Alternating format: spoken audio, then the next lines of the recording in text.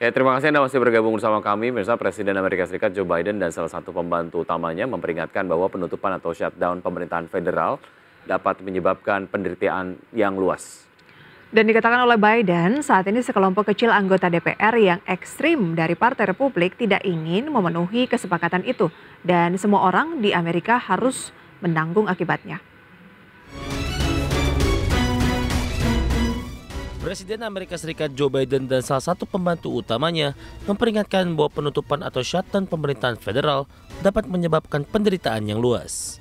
Termasuk hilangnya bantuan pangan bagi hampir 7 juta perempuan berpenghasilan rendah dan juga anak-anak.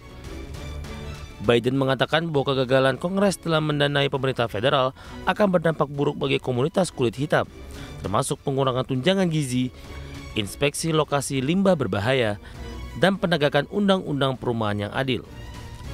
Biden dan Ketua DPR Kevin McCarthy telah sepakat beberapa bulan lalu mengenai tingkat pengeluaran pemerintah. Dikatakan Biden saat ini ke sekelompok kecil anggota DPR yang ekstrim dari Partai Republik tidak ingin memenuhi kesepakatan itu dan semua orang di Amerika harus menanggung akibatnya. Sebagian besar dari 7 juta peserta program gizi tambahan khusus untuk wanita, bayi, dan anak-anak akan mengalami pengurangan manfaat dalam beberapa hari dan beberapa minggu setelah kebijakan shutdown pemerintahan tersebut diberlakukan. USDA bahkan mengatakan hampir separuh bayi baru lahir di Amerika Serikat bergantung pada program bantuan. Selama penutupan pemerintahan, lembaga layanan pertanian juga akan berhenti memberikan pinjaman kepada petani selama masa panen. Dan pembeli rumah baru tidak akan bisa mendapatkan pinjaman di daerah pedesaan.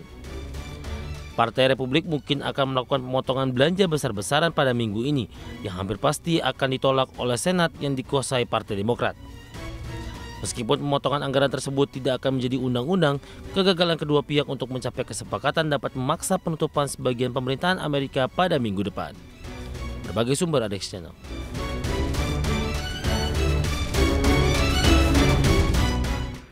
Salah satu konsekuensi dari demokrasi ya seperti itu gitu ya. Memang ada pihak yang kontra dan juga pro dengan berbagai macam justifikasi alasan dari sebuah keputusan yang sampai dengan sekarang antara Partai Republik dan juga Demokrat itu betul-betul bersikuku gitu. Kalau beberapa waktu yang lalu terkait dengan uh, buntunya uh, apa namanya soal anggaran ini juga hampir saja hampir saja terjadi shutdown di uh, Amerika Serikat begitu ya. Tapi kemudian kedua belah pihak bersepakat. Nah kita lihat nih dinamikanya seperti apa untuk um, apa persetujuan dari anggaran ini gitu ya. Oke sampai menit-menit terakhir biasanya ya, gitu ya. Betul.